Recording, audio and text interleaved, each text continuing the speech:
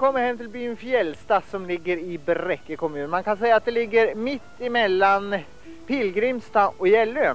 Och Fjällsta det tillhör Sundsjö socken och det blir ungefär en 250 hushåll här. Eh, vad som ska hända det vet jag inte alls faktiskt utan jag får ge mig ut på jakt så får vi se vart det slutar.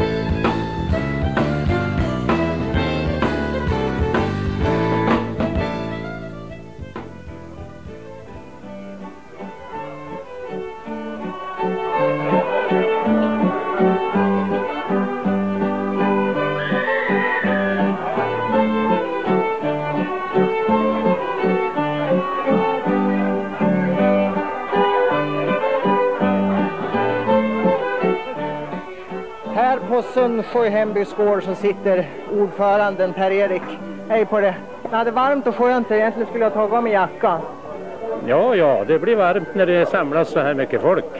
Är det här någon tradition som ni har, som ni strängt håller på eller? Ja, det är det. det. Vi har som tradition att fira den här julmässan ja, i Lucia-helgen. Omkring det varje år. Och, och då sluter byborna upp som det verkar. Ja, det gör de verkligen. Det, de ställer upp för servering och det är några damer som samlas varje måndagskväll och gör handarbeten och väver och grejer och så vi har mycket hemslöjd att sälja. Och, och så har vi ju mycket musikanter som ställer upp och det är ju någonting som är oerhört bra att vi har så bra musik och sångare. Ja, jag ska bege mig till kyrkan nu för där ska det visst bli lite körsång. Ja, det är det. Det är hela kyrkan, hela Bräcke sjunger. Det är körerna från Bräcke och eh, skolorkester och skolkör med mera. Och mycket musikanter, så det blir säkert bra. Livat och glatt, men först så ska vi dricka kaffe nu. Ja.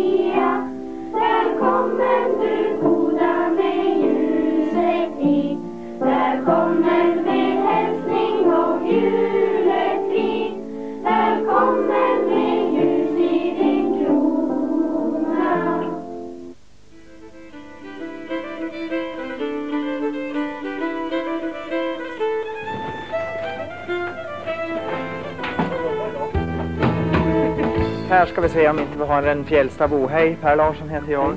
Staffan Johansson heter jag. Stämmer att du är Fjällstabo? Ja, det stämmer bra det. Va, va, vad gör du till professionen? Jag eh, lagar grävmaskiner. Vad tror du? Finns det någon framtid för Fjällsta? Ja, det tror jag. Det tror jag säkert. För att eh, det är mycket, mycket ungar i skolan här. Så på det ser man att det är hemskt mycket folk. Så att eh, jag tror nog det kommer gå bra här. Men det är klart att det, man har inte byggt något nu på några år här. Sista tror jag var brandmästaren här som byggde. Så att, men eh, vi får väl hoppas att det, det blir bättre. Jag tror inte att det är på gång ner eller? Nej, det får jag hoppas att du har rätt. Fortsätt handla du. vi göra det? Ja. Tack ha. Ha det gott!